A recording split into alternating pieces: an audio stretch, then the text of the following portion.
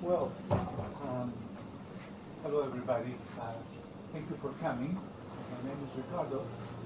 I'm the director of the uh, Global Mental Health Center here at IOP. And um, as you know, this is uh, we're very uh, privileged um, to have Kenji with us today. This is um, we are celebrating 10 years, our 10 years anniversary this year of the center. And uh, the center is, um, for those of you who don't know it, is a very successful enterprise. We can put it that way. Um, it's a place where most of the um, people who um, get based, you know, are producing the most important work in global mental health, uh, train or pass through our corridors. Um, we have a tremendously successful you know, teaching initiative in the center. Um, we have very successful MSc, and of course, you know, uh, and, and my employers would be delighted to hear. We raise vast amounts of money in terms of research funding. Um, so anyway, we are celebrating uh, um, our 10th um, anniversary with a number of uh, series of lectures and um, this is them. If you want to know more about the uh, our lectures, you can visit our website, or you can uh, put your name down in our mailing list, and we'll keep you informed.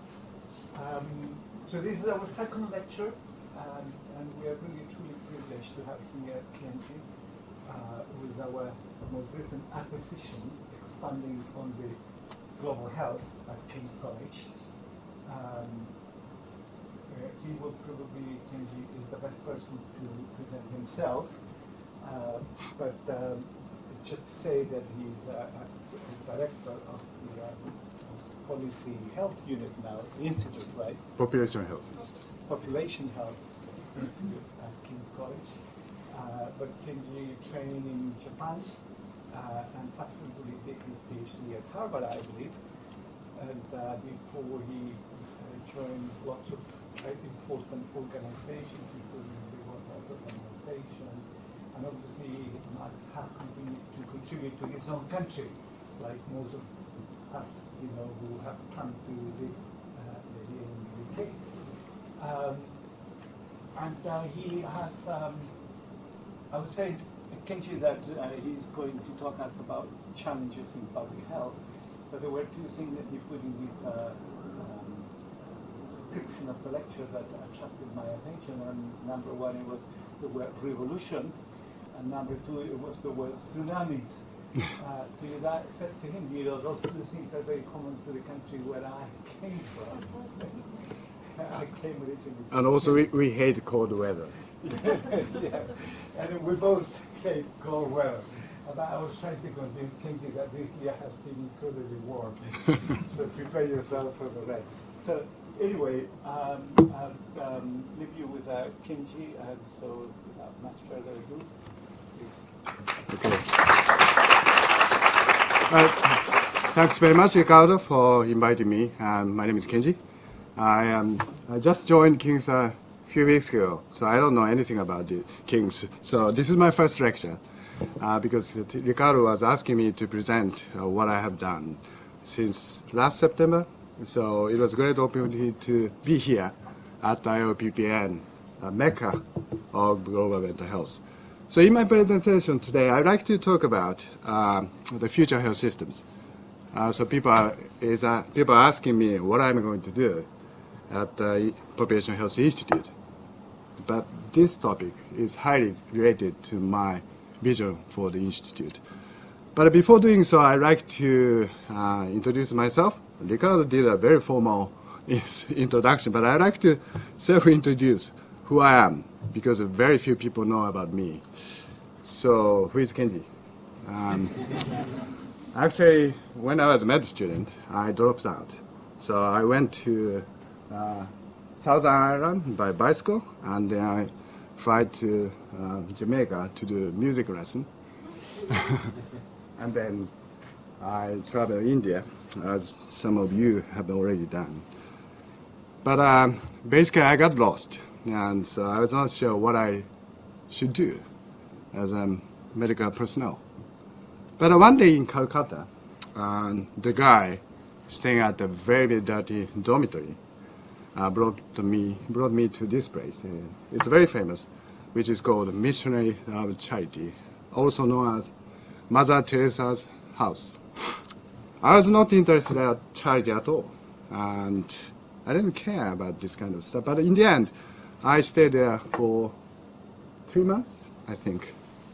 I, I saw lots of people dying and, and bumped on the street and brought to here and died with dignity. And there was a huge social injustice and inequality and poverty everywhere. So I got lost in med school, not because of my ignorance, but because of my indifference. So indifference was my fundamental problem. And obviously, indifference to these social issues are common enemies. So I went back to med school and obtained my MD and studied as an ER doctor. I was practicing. I was not just researching, number crunching, but I was, you know, seeing the patient in the ER. And in 1994, and some of you might have remembered, there was a massive genocide in Rwanda. And I went there as a medical officer.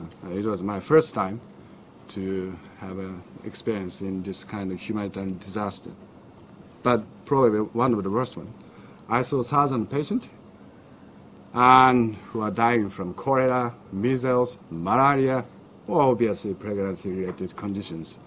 I tried to do whatever I could day and night, but I just wonder why these things happen to the kids and the mothers there, and what went wrong, and what I could do. That was the beginning of my journey in population health. So when I, I, I went back, and I was working at uh, intensive care unit, and one day at the night shift, I was reading a new report uh, published by the World Bank, uh, which was the, which was called World Development Report, 1993, long time ago. And investing health. The theme was investing health. It was quite eye-opening because um, the report proposed from access to health outcome and more focus on adult health, not just mother and child health. And also they said treatment could be very cost effective. And finally they insist that health is not just a cost, it's an investment. It's quite new to me because I, am I'm trained as a just a doctor, MD. But these economists, you know, I, it was first time for me to think economy as an economist. Know, they focus on outcome, they focus on the efficiency, they focus about the return on investment. We tend to talk about access, prevention, also you know, some sort of justice, which is very fundamental. But also, it was quite eye-opening for me. So I checked who wrote this. And back on the page, I found the PI was the guy called Chris Murray at Harvard. So I sent a fax. I didn't have at that time. We didn't have this. So I wrote a fax, and he replied by fax. And why don't you just come? So I, I, I bought a ticket and I went to see him. And he was very young, and he was um, three or four years ahead of me. But we liked math. Uh, we discussed uh, substantially, and we became a good friend even now. So I joined his team. And of course, I, I get involved the PhD program. So that was the beginning of my work on this burden disease study. And it was, uh, we started in a very tiny garage, um, which was used for the storage of newspapers by Harvard Crimson magazine. And it was just five of, five of us, Chris, myself, uh, somebody from the World Bank, uh, Indian research fellow, and one undergrad, five of us. But now, as you probably you know, it's a huge enterprise in Seattle, 450 people funded by Gates Foundation. I often used to visit that office, but it's not so exciting to me. The, at the time when we started with five people, it was most most fun, you know exciting time. So I hope that my history will provide this kind of excitement to some of you. And I went back to Tokyo after getting PhD and started my career as an assistant professor of health economics. But one day, at 3 a.m. in the morning, uh, Chris, who moved to WHO, waked me up and said, Kenji, come to Geneva. I have asked your government to second you. So I said, because I went back, I started my career, and in my mind, I am sick of working with you, so I don't want to work with you anymore. But, he, but the government, in the, in the morning at 8 a.m., the health, health ministry guy called me up and, and Dr. Shibuya, you are supposed to go to Geneva. so I said, well, it's my, my it's okay. So I joined WHO, and, and uh, there, as a chief of policy, I did lots of stuff with colleagues across. Now I served three DGs, uh, Dr. Brundtland, who, uh, who, who, was the Norwegian prime minister, and then Dr. J.W. who was a Korean, and this lady, Margaret Chan. And I did great things personally, but also I did a terrible mistake, and I was almost fired by this lady next to me, Margaret, because I wrote a, a paper with Chris and the other academic member in the Lancet. Actually, uh, it was not my intention, but uh, the paper criticized substantially the way WHO, UNICEF produce numbers. Because they, you know, for example, I can tell you right now, so we are doing some sort of coordinating mechanism about, for example, under five mortality. So country by country estimation process is there. So we do some regression model, whatever that is. And when it comes to the agreement, some say, the guy from UNICEF, oh, this number will definitely, you know, make that country, you know, angry. So we have to scale it down a little bit. And the other guy said, oh, no, no, we, we oh, yeah, this, this number is really uh, yeah, out, outlier. We should drop it. So this kind of triangulation is becoming a norm of this kind of international consensus building. So I, I, I, so when I first attended this meeting, we cannot continue to be held accountable if you continue like this. So I'm very, very angry about this kind of process. Of course, the process is important. Consensus building is definitely important. But at that time, I was not, I was a really fresh out of PhD, and um, I thought this is not a good thing for WHO in, in the long run. So uh, we came up a new model. Uh, it's not super duper health statistical method, but it's a simple, um, you know, Gaussian regression model, which is now used as a common standard method for under five mortality. But uh, the paper actually criticized the way WHO posted the, the number. So Margaret, actually UNICEF, the head of UNICEF called Margaret. Who is this Shibuya? Who is this Kenji? Why don't you just fire him? So seriously. So and Margaret called me up, and uh, so she said, "Why did you do this?"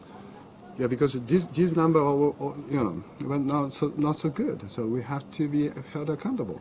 And and then the day the, the next day, Richard Horton, you know, Richard Horton Lancet, called me. If Margaret fire you, I write editorial. So please don't do that. and actually, there are a few people uh, supporting what I did. One is the ex-president of Gates Foundation, Tachi Yamada. Uh, and he called me up so I, I, I told him uh, he was one of my mentors, and he still is. But he, he said, so I, I told him, I have decided to quit because I screwed up. I did a terrible thing to DG and WHO. But he said, no, no, you did a great thing, right thing, but longly, in a long way. And if you, if you quit now, everybody thinks that you did it intentionally to damage WHO. So he says, stay one year, whatever happens and then move.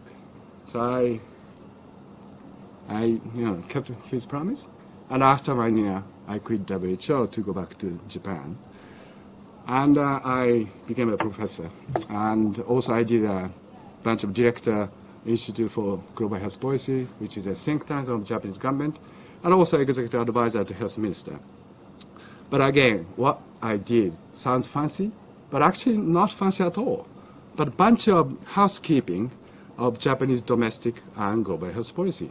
And I didn't realize until I engaged in these activities the importance of the interaction between science, politics, and the social movement to make a difference. The science is critical, but without politics, policy making process, and also social movement, it's very difficult to make a difference. And of course, I had my startups because um, you know some of the stuff uh, government doesn't want to do, and also I was advisor to venture capital. I have uh, had a few different hats. I do research, I do policy making, not necessarily politics, and engage in social movement. So essentially, I don't have a real plan in my life. I got interested in something, and I do my best to achieve the goals. And something shows up, I dive into something else, and I'm here today. so perhaps some of the psychiatrists, psychiatrists sitting in this room may call me hyperactive. Maybe two. So anyway, um, how many of you know this man? This man. Uh, how many of you have read this book? Very. Who is this? Huh? Very famous guy. Um, unfortunately, he died a couple of years ago. And Hans, when I was at WHO, you know Hans, if you Google Hans, and there are a bunch of great videos, uh, his TED Talks. But he's a guy, he's a statistician, he's MD. He used to work at the Karolinska Institute. And he's a nerd to create something called Gapminder. And he's, a, he's full of a sense of humor. But Gapminder software is he's trying to bring, bridge the gap between meaningless numbers and also the meaning of in real world. So he, he brought me, he showed me the prototype of this Gapminder. It's just a bubble, visualization data. Everybody can do it today, but 20 years ago, nobody could do it. I was very surprised to see it. It was the first time, because I, I was producing a bunch of numbers at WHO. And he said, oh, how many people will read this? How many people will understand this kind of stuff? And he showed this kind of bubble thing, visualization. So I, I was very impressed. I gave a very, very small grant to him because WHO doesn't have money. And in the end, after 10 years, he sold Gapminder to Google. And he made a fortune. And so uh, later I, I became an advisor to venture capital. I really regret. I should have invested more. But anyway, using that money, I mean, he doesn't have to care about his life, so he, you know, travel around, make a bunch of lectures. But all, I really admire him because he, just before he died, he went to Sierra Leone and Liberia as advisor to president, and uh, in the middle of the Ebola crisis. And when he had a, you know, uh, cancer, he came to Japan to test the new drugs and we spent some time before he, he passed away. But uh, I like to, uh, this is not a point, I like to do some tests for you because uh, I'm a professor and uh, one of the tasks of a professor is to assess your knowledge and under understanding of the issues. And I took this from, you know, this Factfulness, very good book, you should, you should read it. Every time, um, you know, Hans goes for lecture, he uses a series of questions. And most of the time, the smartest Harvard grad kid or even Oxford or, you know, Indian Institute of Technology, most of them didn't pass that test. So let's, let's, let's give it a try here at IOPPN. Very simple questions. One is, what proportion of adults in the world can read and write? Here, adult means those aged 15 to 60. Is adult literacy rate. So how many of you think that on global average, of course, population weighted, okay? So adult literacy rate. Countries from sub-Saharan Africa to UK, European countries, United States, so population weighted average. How many of you, of you think that around 45%? How many of you think 45%? No, it's, it's, it's not a serious test, but don't, don't, you know, you have to be confident. So 45%. Can I have a question? Yes. What year was this taken What? from? What year was this data taken? Yeah, let's say now. Yeah, it's a good question, but yeah, uh, you know, currently, just just a rough number. it's very important to be strict, but 45%. Be confident. 65? 85. Okay. Next one. This is a very simple. What is average life expectancy of the world population? This is IOPPN. You're working in the health sector, so you should know this. Again, it's population weighted average of life expectancy in the world. 55. 65. 75. Okay. Next one is also simple. What is the proportion of one-year kids in the world are vaccinated against measles? Measles vaccination coverage among infant. Simple. But it's, it's really tricky. You need a syringe. You need a cold chain. You need a quality vaccine to be available to these kids. That includes, you know, Sierra Leone, Liberia, Sub-Saharan Africa, population weighted vaccine coverage of measles, 25% to start with. Be confident. No, no, seriously. How many? Okay, one third. 55. All right? 85. Okay. Last one. So this is a trajectory of the number of kids. Not kids, no, adolescent, age 0 to 15. So what's the you know, projection, projected number of kids under age 15? So this is the real data. It's already data. We are about here. This is the business as usual scenario. No more increase. This is somewhere in between. So how many of you think that, yeah, we will increase, will continue to increase like this, A. Because, you know, fertility rate in sub-Saharan Africa is not still plateau, so A. A B. And C? Okay, four questions. Adult literacy rate, 85%. World population, 75 years. Tim, you said you are, you know a bunch of ge- genetic information. Why you don't know this? 75. And vaccine coverage, 85. No more increase in kids. Surprising. It's a simple question. But Hans is a very, very, uh, you know, and, you know, he was convincing that we don't know much about this. Right? So world is changing very rapidly. Sorry, I spent so, so, so much time introducing by myself and also testing your knowledge. But don't be discouraged. This is quite good compared to my test in Tokyo or at Harvard. So today I'm going to talk about just three things in the next 20 minutes or so. First, health system are changing towards social system, particularly in aging society like Japan. And the second, I would like to argue both local and global population health share common issues in many countries, not just developed countries, but also in developing countries. And finally, I like to discuss the future of health systems and share my vision for the new Institute for Population Health. So where I was working at WHO headquarters, I said bad things about WHO, but I love WHO. Seriously, it's a love and hate relationship. And we wrote a very controversial World Health Report 2000. Uh, some of you may you know about uh, these controversies, focusing on the performance of health systems. We did it intentionally because we want to put health system on the top of the agenda. Before that, WHO was focusing on, for example, malaria, maternal child health, or measles, very, very vertical. So the new Director General, Dr. Brundtland, wanted to put health system high on the agenda. And we used a very quantitative approach and ranked, ranked each member state on the basis of its performance. And luckily, Japan ranked number one, according to our analysis, not my analysis, okay? according to WHO's analysis. But the report evoked huge, huge controversy in the debate.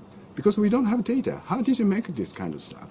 We did lots of extrapolation, imputation, you know, despite limited information available from poor resource setting. But uh, controversy uh, actually contribute to the debate. It's like a viral marketing today. and HSS became one of the most important health policy agenda today after 10 years from this publication, and 20 years from this publication. But this report was political disaster to Dr. Brundtland because, for example, the United States, Brazil, or South Africa, or other diplomatically very strong countries were ranked low as opposed to their expectation, and they were furious about it. So here again, we can observe an interaction between science, politics, and social movement at the WHO and everywhere. In 2011, when you know, Ricardo mentioned about tsunami and big earthquake, I read the Lancet series on Japan, and Richard Horton wrote in his editorial that Japan is a mirror of our future. And you know, he is sometimes very serious, and he doesn't do some lip services. And I think what he wrote in the editorial was real. And if we look across the countries, the health system in the world today, there are four big tsunamis. This was uh, in Dr. Tedros' new Director General WHO speech. Uh, one is population aging, Second is chronic disease. Chronic disease is not just non-communicable disease, which includes mental health, but also communicable disease like HIV becoming chronic. And also explosion of health technologies. Up to 40% of inappropriate use of technologies, challenges of intellectual property rights, and of course highly, highly priced innovative drugs everywhere. And globalization.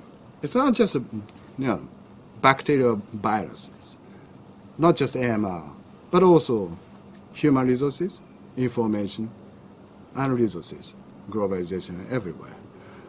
And Japan is the fastest aging population here, as you know. But the problem is, is that other Asian countries or other countries in the world are catching up very quickly. The derivative of the rate of aging is very steep, in particular in Asia. And fourth tsunami hit Japan more acutely. And as a cover of the Economist articulated here, Japan is not only aging, but also shrinking. And in fact, Japanese population began to fall since 2004. And the proportion of age 65 increased from 12% in 1990 to 27% in 2015. So we have a big problem. Everybody says it's a big problem, but, but what to do? And after nearly 20 years since the publication of World Health Report 2000, Japanese officials still quote the WHO report and saying, oh, we are, we are number one in terms of health system. So I said, I was very skeptical. And as someone who actually did that analysis, I revisited the issue and focused on the subnational analysis again in terms of Japanese health system performance, uh, which was published in Lancet as well. And in 2013, the government set two major goals. Extending healthy life expectancy, that's one, but also reducing health inequality. But our analysis in this paper suggested that really opposite directions. So there is a stagnation in the improvement in healthy life expectancy, but also widening gaps across, across prefecture. Prefecture is a state. So why did inequality get worse? Of course, we could hypothesize many things. One is, you know, probably differences, differences in individual risk factor distribution by prefecture, or differences in resources by prefecture, doctors, medical expenditure, or efficiency of that resource use by prefecture, or social determinants. Many, many hypotheses. But we, we are testing this by simple uh, analysis about risk factor distribution. Uh, proximal risk factor distribution is uh, didn't have enough exp explanatory power to explain regional variation. So as, uh, as shown here, this is the expenditure and number of doctors, and also this is the standardized death rate or DALYs, disability adjusted life years. And each point is prefecture. But no correlation. Of course, it's a very simple analysis. But politically, there was a huge debate, widening gap. Lots of politicians, and you know, try to attribute the gap to results differences. Oh, this prefecture, we don't have many doctors, nurses. We don't have enough resources. So please give it them to us. That's a kind of political battle. But my analysis suggests it's not necessarily the case. So we are now testing more on the efficiency and performance of health sector, uh, you know, in each prefecture, given the resource input, or social determinants thing, by using a bunch of data set. And, but the more I engage in this sort of burden disease analysis, which I studied with Chris 20 years ago, the more I realize its fundamental limitations. That is, the current GBD approach doesn't capture and to understand the individual population interactions. You know, that's fundamental. Because of course, GBD is a great approach to grab a big picture on the population average phenomenon, but that is not enough. In the end, what matters is not just the risk profile of a group of individuals, but how each individual behaves and make a particular choice, given the bunch of variables surrounding him or her. It's an old but new question in the era of sustainable development goals, in the era of no one left behind. We are talking about SDGs, no one left behind, but we are just talking about average numbers, population phenomenon. But the more I understand, the more I try to re realize the, why, what we should do, I end up thinking about more about the individual population interaction. So that's old and but new question to me. So through this experience over the past five or six years, I got more interested in social transformation of the health systems. Rather than the number crunching, I don't say number crunching, but it's important, and extrapolation of the GBD approach, which I still do, but I see lots of limitations. So I did, to summarize, I did World Health Report in 2000, and I did Lancet C 2011, and I did some national um, GBD in Japan 2017. And this was exactly the period when Japan was, uh, at the beginning, around 2000, Japan was in the middle of bubble economy, very euphoric. And Japan bought Manhattan Island, as China does today. And then around 20, 2011, uh, when Japan was hit by disaster and started to face the you know, low growth, economic growth, and population aging. And my career in academic field was quite consistent with the social economic phenomenon which Japan faced over the years. So Japan really needed a new vision and healthcare and health system for the future. That was my, um, you know, I did academic work, but what I really wanted to do is to come up with some sort of vision for the future. In June, luckily, 2015, uh, four years ago, um, Health Minister Yasuhisa Shiozaki uh, tried to form advisor panel for, to set up the vision for the Japanese health system. And just two weeks before the advisor panel was announced, the minister called me up I, I never worked with politicians, and I didn't know that guy. And, but he called me up and asked me to chair the panel. I don't know why. But I was very reluctant because, you know, I don't know the UK system about bureaucracy. But these committees, the agendas are all, often predetermined by bureaucrats. And actually, they guide all the discussion behind the scene. In the case of Japan, I don't know the US or other countries. So I said to the minister, thank you very much, but I'd like to decline your offer because if this is a usual government committee, there is very little I could do. both professionally and also intellectually. So, but he replied, no, no, no, no, this is totally different. There is no hidden agenda. Everything should, everything should be discussed by the panel, and I will follow the recommendation. It was quite exceptional in the Japanese policy making process. In the U, U, UK, it's more completely, no, completely the really. Are you sure? Well, well, no, in terms of pre-established agendas. Okay. But that's important because uh, because the agenda is there, so that's why they set up a committee to endorse that. But this time, it, it is about the vision. It's not necessarily predetermined. We need to think from the scratch to come up with a grand vision.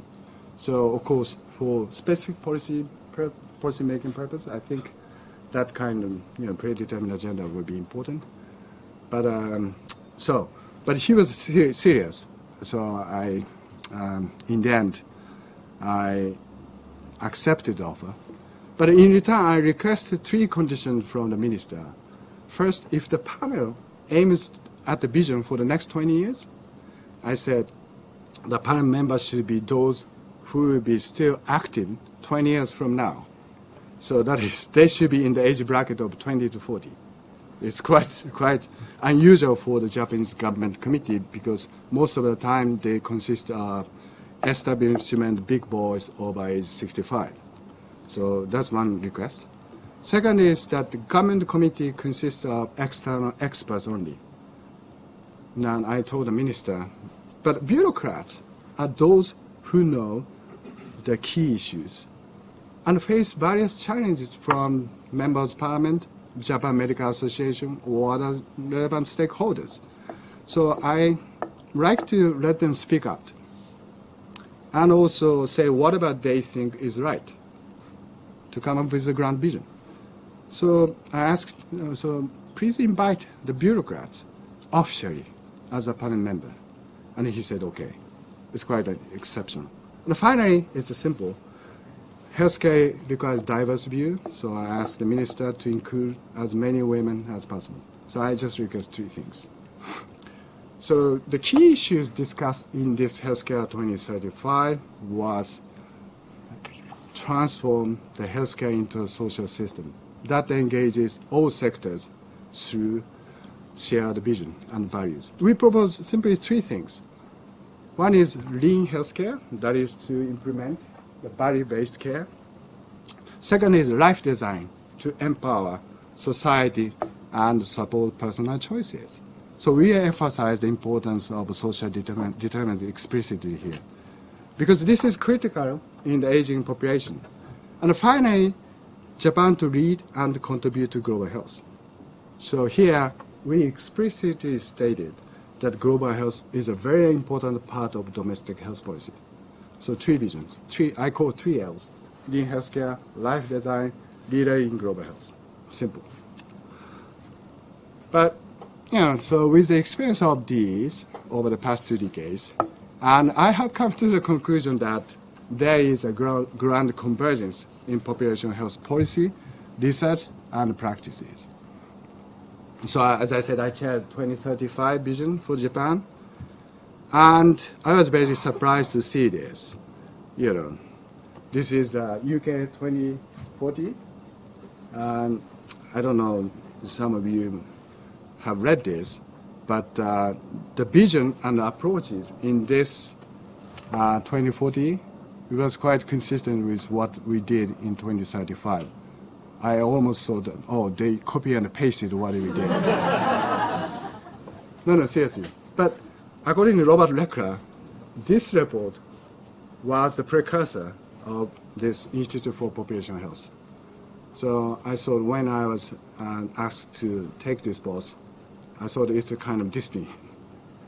So uh, I was lucky to work on this, but I knew that uh, in UK here, the people are serious about this kind of you know issues, social transformation of healthcare. So the current healthcare system must be rebuilt and as a social system, and it should be shifted from public health to the health of the public. Across different agencies. So second, I like to talk about local global interaction. So you are an expert in global health, so I don't spend too much. But I like to discuss the local global interaction, and they actually share some common issues in quite a few countries. And one of the most important topics of population health today. Here is a slide, a website of Harvard University. I actually graduated uh, graduate school. I didn't go to you know, Harvard undergrad. And I had a chance to chat with the former president, uh, Professor Faust, who is the first female president of the Harvard University. But, it, you know, do you know what is the most popular course among Harvard undergrad, who are probably the most ambitious and smartest kids on the planet? Well, what is the most popular course among the Harvard grads? Of course, they have to uh, concentrate on two majors and one minor. What are the most popular two majors among Harvard undergrads, not our graduate students? Any idea? Sorry? Economics. Excellent. One is economics. What is the other? Law? Hmm? Law? Actually, sorry, not. Sorry? Political science? Not quite.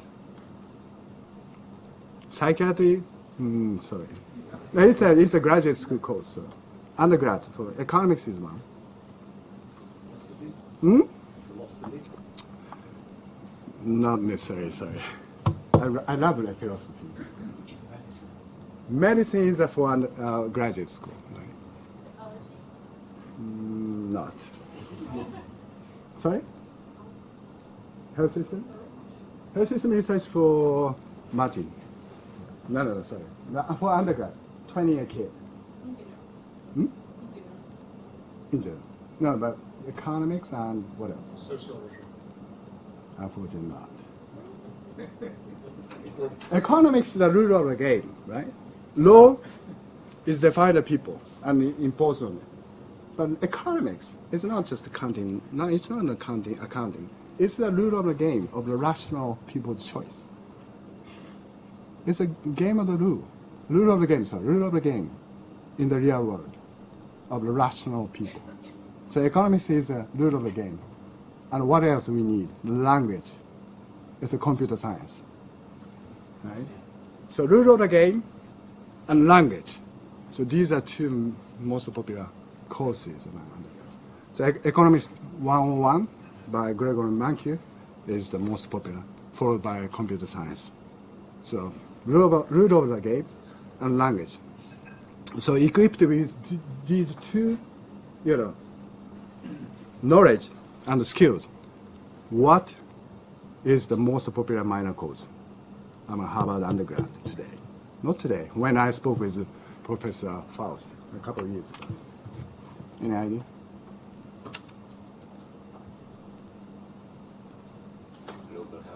Exactly. Exactly. Global health. That tells you something, right? So, uh, global health, I, I, I thought about why. Because they, the Harvard undergrads are very ambitious. They just want, they just don't want to be rich man or women. They want to change the world. And global health is the most cutting edge entity with a bunch of innovations. And actually saving lives. And market is growing. And of course, Bill Gates is there. So I don't know the bunch of reasons, but uh, that tells you something about global health today. But anyway, when I decided to quit WHO, as I mm, you know, shared with you, my mentor Tachi Yamada, who is now a venture capitalist and previously the president of the Global Health at the Gates Foundation, once told me that Kenji, don't forget, global health is the future of medicine. And when I quit WHO 10 years ago. I didn't understand, quite understand what he meant because I, until, until that time I thought global health is just for helping poor countries or technical transfer. But now, everywhere, it's global health. Local, global context, interactions, issues, lack of doctors, you know, health system, integration, aging population, comorbidities, as I said, technologies, globalization everywhere. And in fact, after the fo- following the healthcare 2035, we pushed very hard the linkage between domestic and global health context. Surprising Prime Minister Abe contributed to the Lancet. Did you know that? I don't know who wrote this, actually, but uh, he talked about three things. Japan at the time when we had a G7 summit, and he wrote in the Lancet, Japan should contribute to the health security because we had Ebola crisis and WHO screwed it up. So we wanted to revamp the global health arch- architecture to tackle global health security. Second is resilient health system for aging population. And thirdly, AMR, because of the request from S- Sally Davies. No, just joking, but we wanted to put very high on the agenda, not for her, for the world. And Prime Minister, you know, wrote to the Lancet. Again, I don't know who wrote this, but uh, it was great. And we, um, at the G7, all the, most of them are gone, but uh, unfortunately, the situation is quite different. But uh, uh, from that summit, we had a reform WHO to set up a health security cluster, and also, you know, pandemic emergency fund at the bank and CEPI for the new vaccine fund, and also UHC movement and also MR, bunch of stuff are now emerging since then. So again, to summarize the local domestic domestic global interaction, in 20, 12 in 2011, I wrote in the Lancet uh, as a part of the Japan that Japan should go beyond UHC universal health coverage and emphasize the social system approach. In 2016, uh, we wrote a recommendation to the G7 and in, about human security and health security, universal health coverage, IMR. But these two pieces are more or less consistent in the sense that we need a system thinking, we need local global interaction, we need to think about not just health but human security. We need to implement multidisciplinary approaches to tackle this. So finally, give me five or six minutes before I open the floor for questions. So I started from my observation that um, you know, health systems are changing towards social system.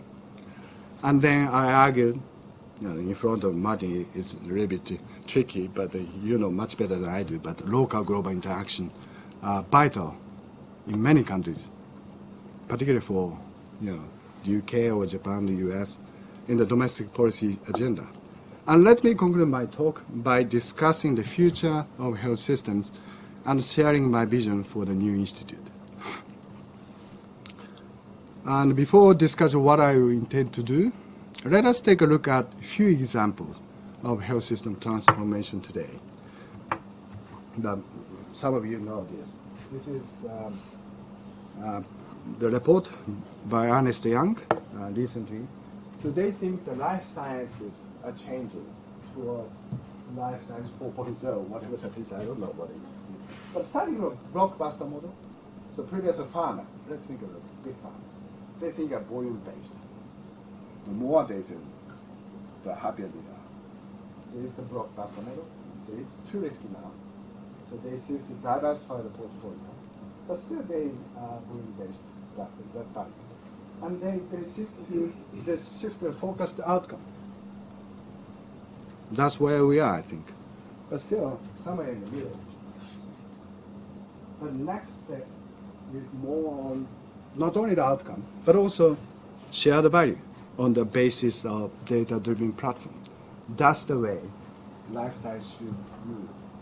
That's a report from the future vision of some of the uh, big thinker in this kind of technologies. And also in terms of education, a professional like you. I was an advisor to this um, very famous Chen Frenk report about transformation, transforming education for healthcare professionals, published Lancet. And previous, they argued that there are three phases in terms of health education. 100 years ago, Flexner report, which was based on science, and it's purely university-based, all academic program on science, like bio- biochemistry or physiology, blah, blah, blah. And then um, 1970s, PBL, program, program-based know, learning was introduced. And much of the you know, learning process was not the university hospital, but academic centers. They argue now that it's an era of system-based learning. And important you know, content is competency learning and local global interactions. And where they will run this kind of thing is a health system, not just academic centers. That's what they are proposing. And also, before I just came, before came here, I was chairing this joint ministerial committee, uh, the Future Health, organized, organized by two ministries in Japan, Ministry of Health and Ministry of Industry. It's very messy. But this is a, just a visualization of what we discussed issues. Inclusiveness, empowerment, self-achievement, personal, visualized mind, visualizing mind, and investing health, redefining health, a bunch of issues. But in terms of discussion issues, what we are talking about the future are more or less same direction. Of course, the solutions are quite diverse, but in terms of issues which I identify, are pretty much consistent. And so again, and also last year I saw a huge, huge uh, social transformation. For example, uh, 1961, uh, Japan achieved universal health coverage. Yeah, that was the beginning of our universal health coverage.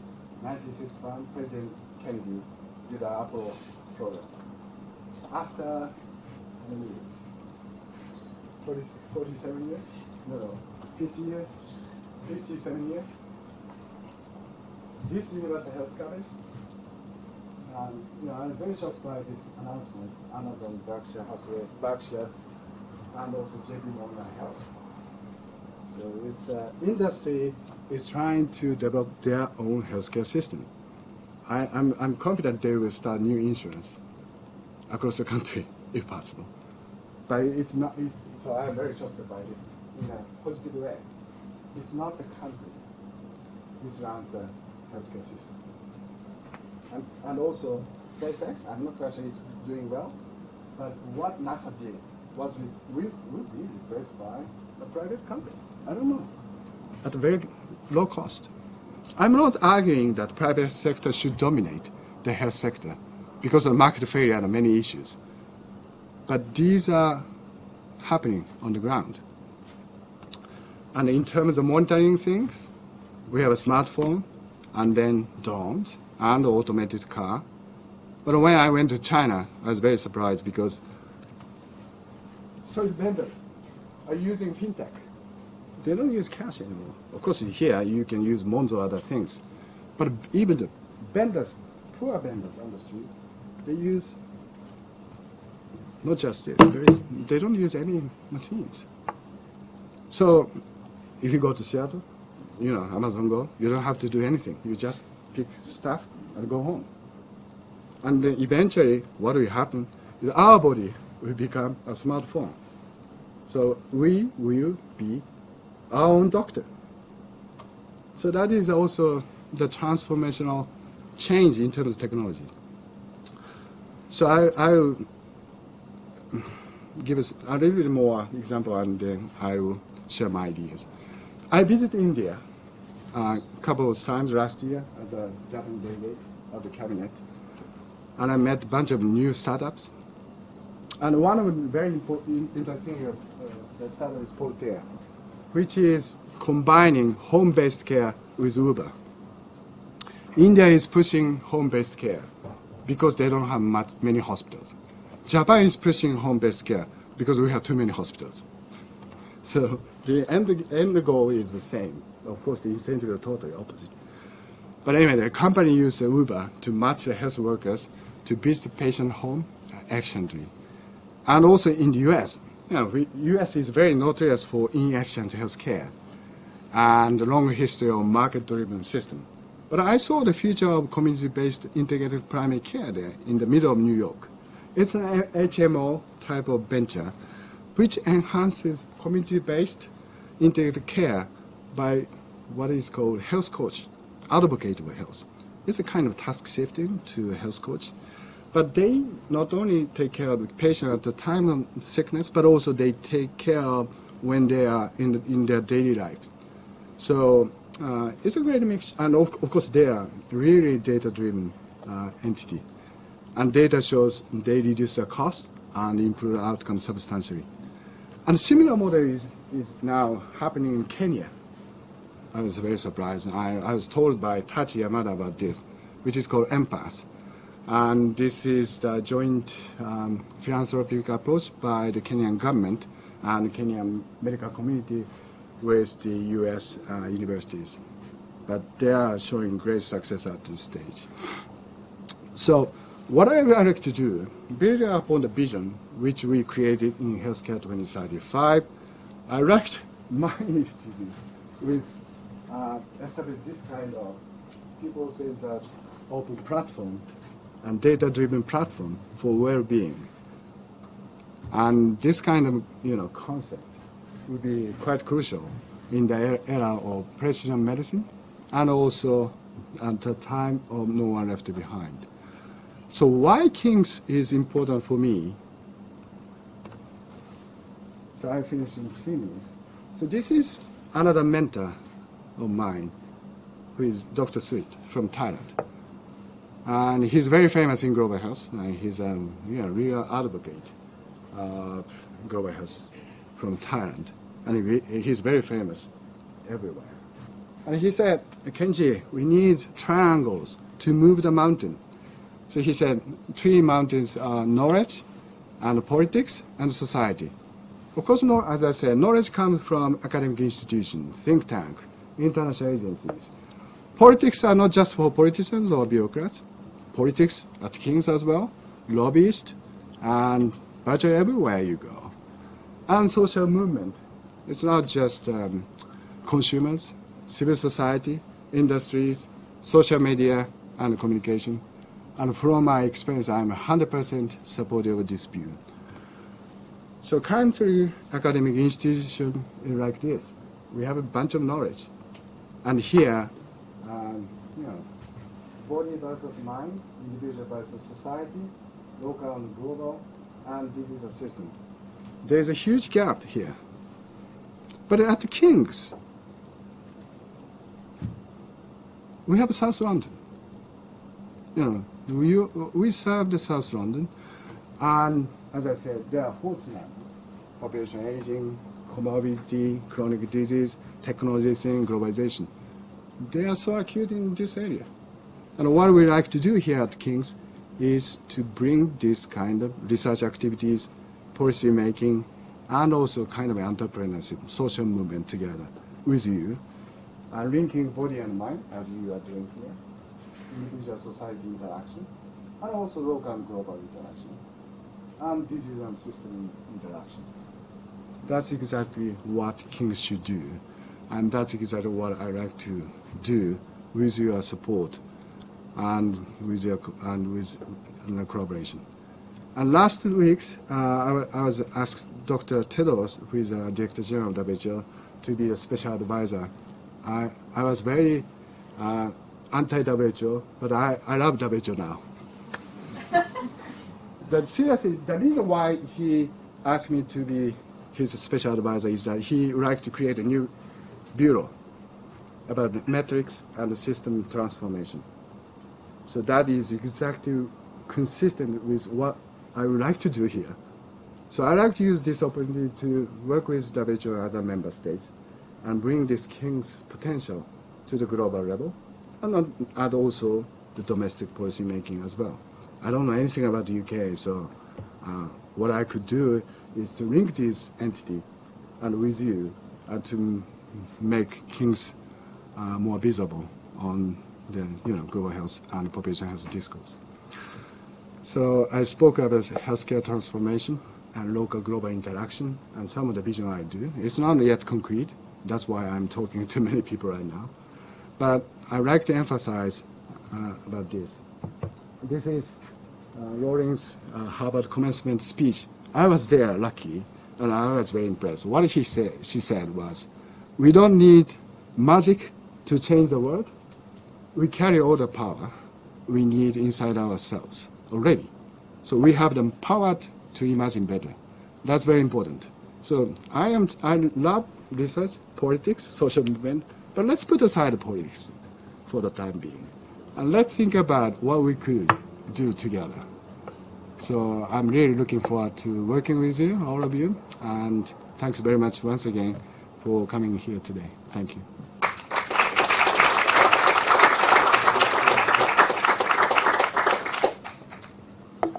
I just want to make a correction uh, in the introduction. This is uh, an event jointly sponsored by our Center for Developmental Health and King Global Institute. Made my and hopefully so. it's your turn to lead the questions. Okay. So thanks very much indeed, Ricardo. No apologies required. Uh, but mainly thanks very much indeed, Kenji, for that remarkable presentation, uh, steeped in many years of experience in the fields of public health and global health, spanning intergovernmental institutions, governmental institutions, Japan, uh, and now to our great benefit uh, here in London, at King's, and in South London as well. So I'm sure everyone here would like to join me in saying you really are most welcome. Thank you. And we look forward enormously uh, to working you in this, with you in this area. And I think your presentation uh, amply showed that despite your, uh, uh, addition to your uh, superb qualifications to take on the leadership of the Population Health um, Institute uh, at King's, there is of course this uh, important overlap between the disciplines of public health uh, and global Yes. health, and we're planning to work uh, very closely together on that in the future.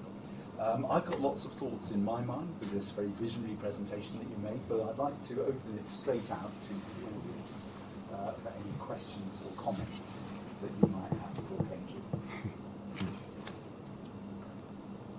Oh, goodness. yes, so I think, Andy, you were the first uh, of the... Uh, Thanks very much, Kenji. Um, that's really inspiring.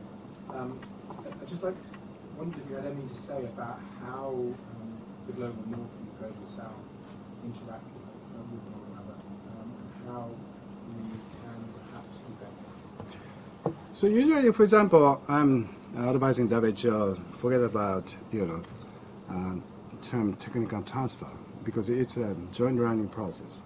So um, right now, for example, in the case of universal health coverage movement or health system strengthening, uh, recently uh, WHO sent a group of people in Kenya to do a workshop on health system building, but it was a disaster. So instead, I asked people from Thailand to go there and discuss and identify common agenda and come up with the, you know, head of state memorandum of understanding level. So I think it is time to think differently how not just the South to South cooperation in a classical manner, but how we can enhance the you know, network of really competent group of people and work together and to support each other. So it's a beauty of global health. It's not just a north to south technical transfer. It's a mutual learning process because the issues are the same. Aging, health system sustainability, financing, you know, technologies. It's not just an issue of developing countries. Of course, the resources are limited, but the issues are not just about money. It's not just about the people. It's a more system issue, I think. And it's changing. Was interesting. I noticed that both in the UK statement and also in um, You your Prime you- Minister's yeah, statement you- in the Lancet, yeah, yeah. they referred to global health security Yes.